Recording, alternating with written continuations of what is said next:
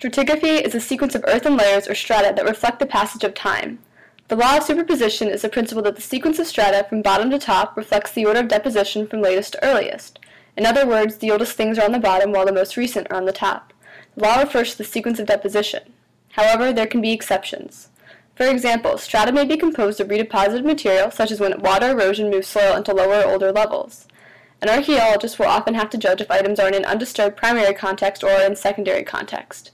The law of association coincides with the law of superposition, meaning that objects found in the same archaeological layer were likely deposited at the same time if conditions allowed for no disturbance. Created using Powtoon.